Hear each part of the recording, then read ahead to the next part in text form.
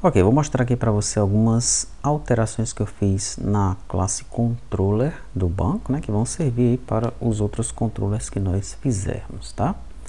Bom, primeiramente eu removi aquele método para filtrar pelo período, já que o banco não tem período, não tem data, né?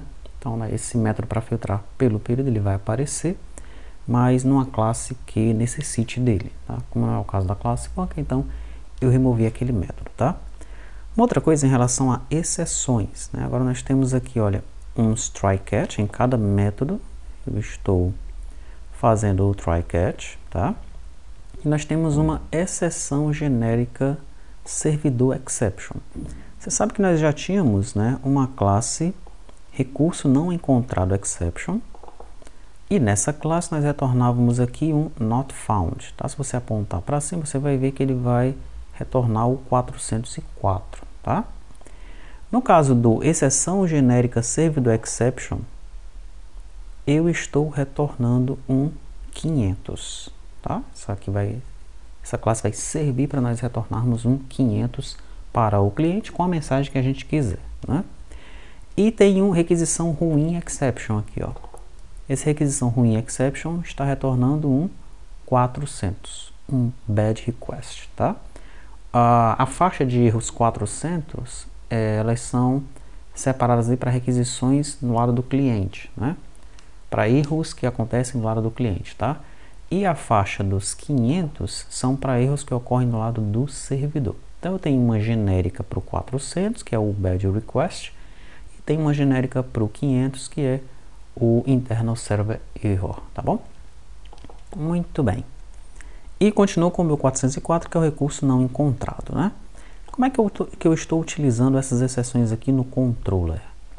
Todos os controllers têm um try catch, aliás, todos os métodos do controller têm um try catch, e no catch aqui eu gero a exceção genérica, tá? Passando um erro no servidor, daí entre colchetes eu faço uma referência a qual método esse erro está acontecendo, tá? Alterar banco, alterar. Né? Essa mensagem desce para o cliente e eu pego a mensagem da exceção e passo também para o cliente quando acontecer esse tipo de erro genérico, tá? Em algumas ocasiões, né, por exemplo, no método alterar, eu tento primeiro encontrar o objeto que o cara está querendo alterar aqui em cima, tá? Se ele não encontrar o objeto, né, se o objeto for nulo, então eu gero uma requisição ruim exception, que é o 400, o bad request, Tá? Objeto com ID inválido, alterar banco, ele retorna 400 para o cliente. É, aqui eu estou utilizando a genérica. Aqui o recurso não encontrado, que é no caso de constar um objeto, ele não achou o ID, eu retorno 404. Aqui é a exceção genérica. E no consultar lista, novamente uma exceção genérica, tá? Então, apenas para mostrar para você que nós temos agora essas outras duas exceções e você pode criar tantas quantas você deseja. Você pode criar uma para cada código de erro que tem lá nos códigos do HTTP. E aonde é que você encontra esses códigos HTTP? Se você vier na internet né, e procurar por códigos HTTP, tem uma lista de códigos aqui na Wikipedia, tá? Então você entra nessa lista e aqui você vai encontrar, né? Então, os códigos que começam com 1 são é, respostas apenas informativas, né? Então, tem aí o senha continue, 101 trocando protocolos e por aí vai. Já os que começam com 2 são respostas de sucesso. Normalmente nós utilizamos o 200 para dizer que alguma coisa foi bem sucedida, né? Então a resposta padrão para é, requisições HTTP que foram efetuadas com sucesso, tá? 201 é um created, então, se você utilizou, por exemplo, um post né, e algo foi criado no lado do servidor, você pode retornar um 201, tá? 202 é algo que foi aceito e por aí vai, né? O 204 é o not found, aliás, é um no content.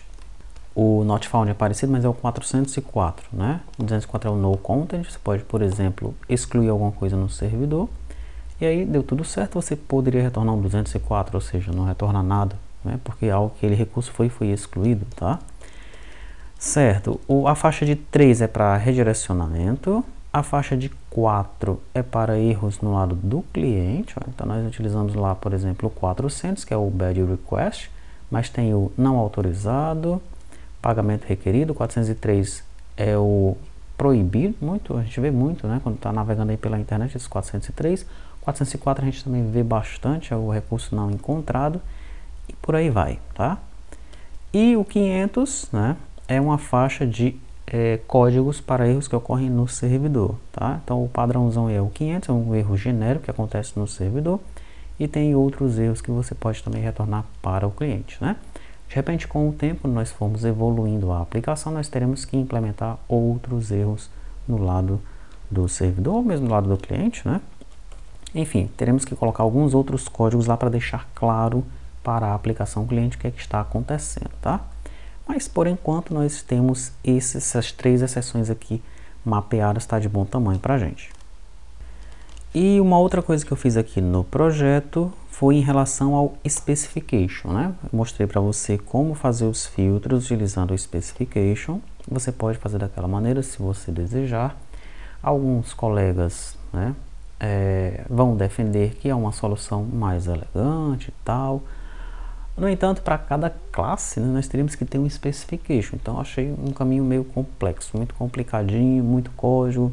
Removi o specification e resolvi simplificar o filtro, tá? Como é que eu fiz então? Você lembra que eu tinha aqui um specification, né? Então você deve ter assistido os vídeos anteriores para entender o que eu estou mencionando aqui. E dentro desse specification eu coloquei a minha regra de filtro lá. Ah, se tiver campo e valor, então monte um array com o campo e o valor, né? Um like. É, se não tiver o valor, mas tiver data inicial e final, então você monta a regra com between entre essas duas datas, essas duas datas, né? Bom, eu tirei isso daí e dentro da classe filtro eu criei um campo where, tá? Então agora dentro da classe filtro eu tenho um campo where, tá bom? No get desse where, olha só o que, que eu fiz aqui, ó, no get e where. Eu peguei a regra que estava dentro do specification e trouxe para cá, simplificando ela, tá? Então, se o valor que é o campo valor aqui em cima. Se esse valor ele for diferente de vazio, né? valor exempt, e aqui o, a exclamação, o valor não é vazio, tá? Então, se o valor não for vazio, eu vou fazer o array aqui, ó, com base no campo, mais like percentual, mais valor, mais percentual, tá? Então, por exemplo, se eu colocar nome Z, né, o campo é nome e o valor é Z, vai ficar assim. Where nome like Z. Ok? Muito bem. Já se o valor vier vazio, ele vai entrar no else ali, ó. Se o valor vier vazio, ele entra no else. Como é que fica o meu where? Fica campo between data inicial and data final. Ele faz o filtro pelo pelo período, nesse caso, né? E aí ele retorna o array aqui, ó, tá? Então a minha classe filtro agora, ela tem é, o dever de retornar esse array para mim com base nos, nos valores que ela tem, né? No, nos campos campo e valor, nos atributos campo e valor, nas propriedades campo e valor, tá bom? E onde é que eu estou utilizando isso? Lá no service, né? Então lá no service, você lembra que eu estava chamando o specification.